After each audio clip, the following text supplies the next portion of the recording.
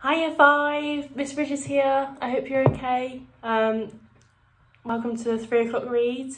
Um, I hope you're all well and getting ready to have a nice relaxing weekend. And here we go. Okay, so today we're reading chapter 36 of There's a Boy in the Girl's Bathroom and I hope you enjoy. Okay. Bradley giggled as he walked to Carla's office for his regularly scheduled appointment. He couldn't wait to tell her all that had happened to him. She'll be so happy, he thought. She was waiting for him in the hall, just outside her office, but before she could say anything, he beat her to it. Hello, Carla, he said. It's a pleasure to see you today. I appreciate coming to see you. She smiled. The pleasure is mine, she replied. He laughed. He got a kick out of being polite. They shook hands, then went inside to the round table.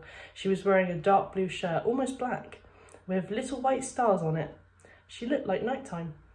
So what's new? she asked. He opened his mouth, but nothing came out. He didn't know why, but for some reason he didn't want to tell her. What's new with you? he asked. With me? asked Carla. Nobody's ever asked me that before. You're always asking me what's new, he said. Why can't I ask you? You can, she replied. You can ask me anything you want. Let me see, what's new? I bought a new shower curtain yesterday, but that doesn't sound very interesting, does it? What colour? Oh, sort of beige. I don't know, it doesn't really have a colour. That's a good colour, said Bradley. Sounds beautiful. It's okay, said Carla. What happened to your old shower curtain, he asked. It started getting a little rotten, said Carla. Was it also beige? Um, no, I think it was yellow when it was new, but it's sort of a greenish brown when... Colleen invited me to her birthday party, he blurted. Then it all came pouring out of him.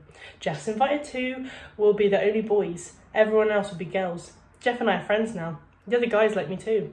We play basketball together. At first I was afraid to shoot the ball, but then everybody said, shoot Bradley, shoot. So I shot and I made it. Everyone was amazed. So was I. I still miss a lot more than I make, but I'm getting better. Everyone says so. My father taught me how to dribble. He's going to put a basket over the garage. At first they wanted to beat me up, but I said, hello Jeff, and he said, hello Bradley. And then Andy asked me if I wanted to play basketball. Then Colleen asked me to her birthday party and I said yes. And she said, good. She would have asked me sooner, except she just found out when she was born. Fortunately, Carla had heard most of it already. Otherwise, she wouldn't have understood a thing he said. It's all because of you, said Bradley. You did it, Bradley, not me. It was your magic book. My book? What's that got to do with... Bradley, what's wrong? He was crying. One second he was beaming out her magic book and the next he was sobbing and shaking all over. Bradley. He covered his face with his hands. Tears spilled out of his eyes. What is it? asked Carla. What's happened? He shook his head.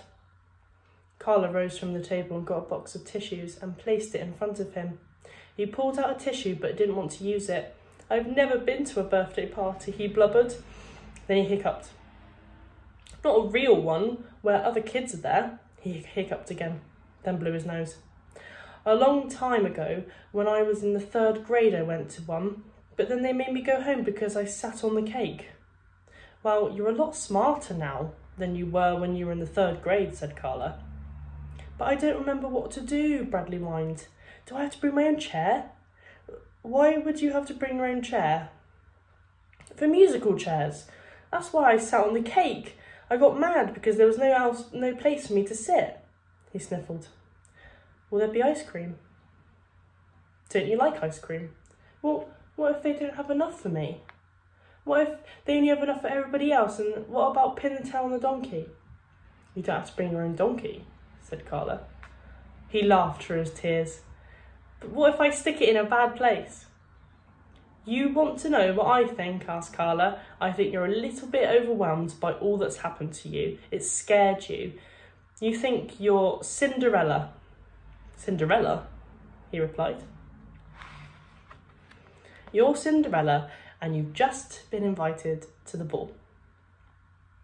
And now you're afraid that right in the middle of Colleen's birthday party, everything will suddenly turn into a pumpkin.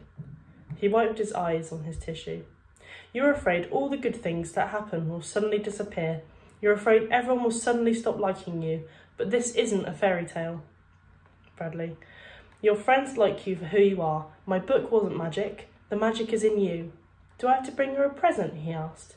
You don't have to do anything, said Carla. But it's a nice thing to do, don't you think? Colleen invited you to her birthday party because she likes you, and you give her a present because you like her, and because you want to help her celebrate her birthday. What should I get her? Should I get her a doll? Is that what girls like? I don't know. Everybody likes different things. Give her something you like. If you like, then if you like it, then she'll probably like it too. Give her a gift from the heart. How about a shower curtain? he asked. Uh, if it comes from the heart, said Carla. He smiled. When it was time for him to return to class, Carla said, I enjoyed our visit very much. Thank you for sharing so much with me.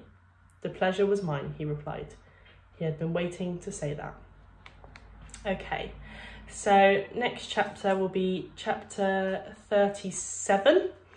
Um, and then we will go from there next week. Have a lovely weekend. Um, we miss you all so much, but you're doing amazing at home. Just remember that you, you're always trying your best, doing your gem powers, and we're loving it. So carry on doing what you're doing. You're all amazing, and I'll see you soon. Bye, year five.